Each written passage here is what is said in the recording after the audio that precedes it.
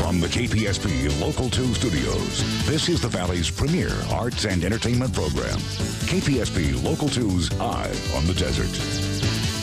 Good evening and thanks for joining us this weekend here on Eye on the Desert on KPSP Local 2. I'm Patrick Evans, your host. There's a lot of stuff going on this weekend. Coachella Fest is happening. Of course, when Coachella arrives, the warm weather arrives along with it. That's going on. We've got a great event for the American Cancer Society here in the desert. That will take place tomorrow. A play at IPAC that you'll want to see and all kinds of things going on at Fantasy Springs Resort Casino. We'll get you caught up on all of that.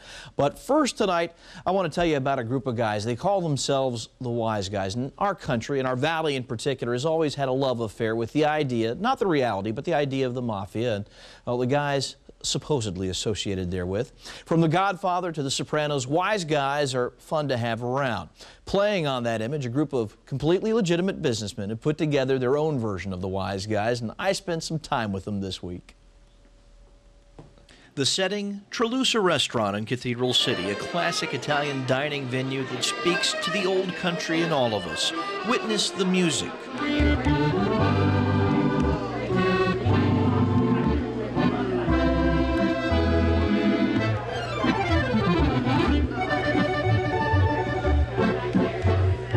The food.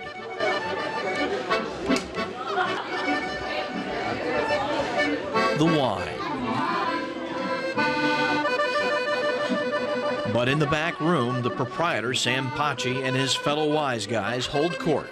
Hopefully, we created an atmosphere that you're coming to my home, my house for dinner. So if you could, if, you know, if you feel that way, you come here, you feel at home, you feel relaxed, you enjoy, uh, you take your time, we talk, we we kiss, we you know, we have a wonderful time. And Vince Guccione says it's not just for fun. There's a serious philosophy behind the striped suits and Italian accents. Things. We love tradition, family, the way things used to be. It's not that way anymore. We want to. We wanted to promote it, not not actually promote it. I wanted to live my life that way. It has nothing to do with the wise guys that you see on TV. It has to do with the fact that the values that we have, the values that we cherish, family, tradition, the way things used to be. Of course, they're not just marketing image either, thanks to the kosher member of the group, Ofer Gabriel, who was Mr. Israel in the 1980s. Well, now he works as a personal trainer to the stars. Think the governor and old blue eyes. But he also developed a line of colognes aimed at maintaining the image of grace, class, and elegance that the wise guys are known for and there was a beautiful fragrance. The first one was born, it was the OG original.